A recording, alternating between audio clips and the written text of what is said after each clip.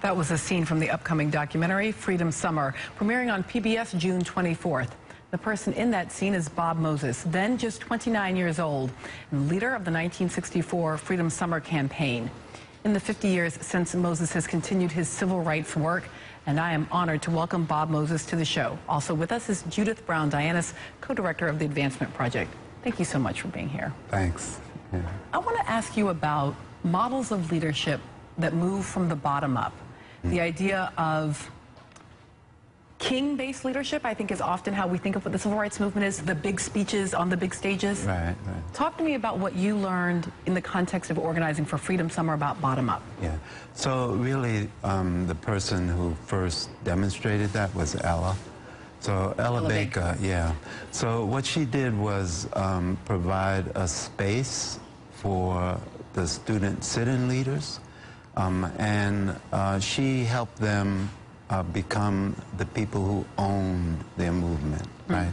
So what was happening, um, remember there was the NAACP, SCLC, and CORE.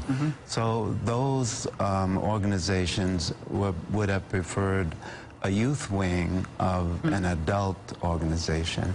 But Ella really held off Wilkins, King, and Farmer, right, um, and insisted that the students uh, had the right to make their own mistakes, so to speak. And that's pretty formidable, the idea of Baker holding on. I mean, the, the names that you, that you give there are folks who helped to change the country. Right. And yet the idea that she holds them off to develop a different model of leadership. Right, exactly. It was really crucial.